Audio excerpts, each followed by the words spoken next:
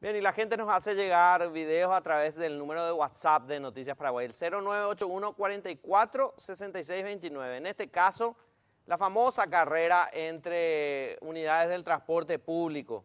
Ahí vamos a observar, aparentemente son eh, unidades de transporte de la zona de Pacaraí. Miren ustedes la maniobra imprudente que hace ya fuera de la banquina incluso el primer bus que se adelanta al que está allí esperando subir pasajeros y bueno, otra vez la agresión entre los choferes. vamos a escuchar, vamos a ver y escuchar este video.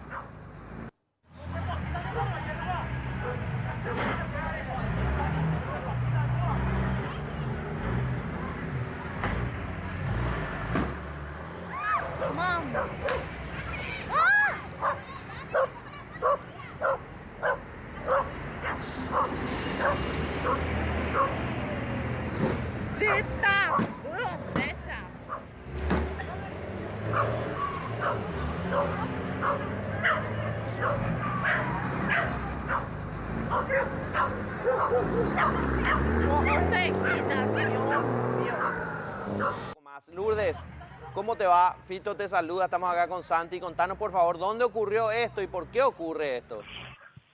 Este pasó eh, cerca de Yaguarón ya, en, ¿cómo te en una curva. O sea, este video me pasaron a mí y yo quería hacer la denuncia porque no puede ser algo así que los colectivos anden jugando carrera y a a los pasajeros.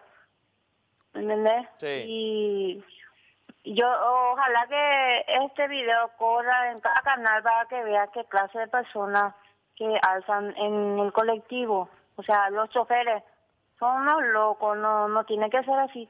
Ahí vemos que ahí parece que se incluso se tiran cascotazos, Lourdes. o sea, el, el, la el guarda del colectivo del eh, Paraguarí se baja y se enfrenta al otro chofer, le tira cacotazo, el otro eh, arranca, acelera y casi pasa encima de la gente. Sí. El de Yaguarón, en verlo de la imagen, no puede ser, pues.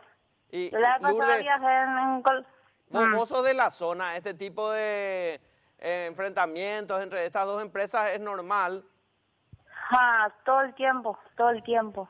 Ya varias veces hubo así accidentes. Yo la vez pasada viajé en colectivo eh, Yaguarón y allá en Capiatá, kilómetro 29 por ahí era, 19, 20 la cola que había y él se empieza a adelantar. En kilómetro 15 reducto, casi cuando íbamos a llegar, casi chocó por otro colectivo porque quería pasar el semáforo.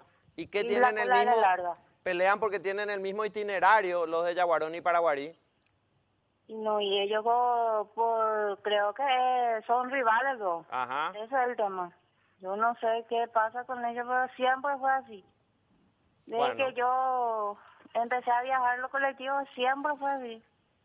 Terrible realmente, porque le, exponen a la gente realmente. Eh, obviamente, ya varias veces, no no puede ser así, la, y no hacen nada, los lo encargados de los colectivos no hacen nada. Vamos a ver si la gente de... la gente de Dinatran, la gente del Ministerio y Viceministerio de Transporte, a ver si toman cartas en el asunto después de, ver este video. Te agradecemos, Lourdes, muy amable.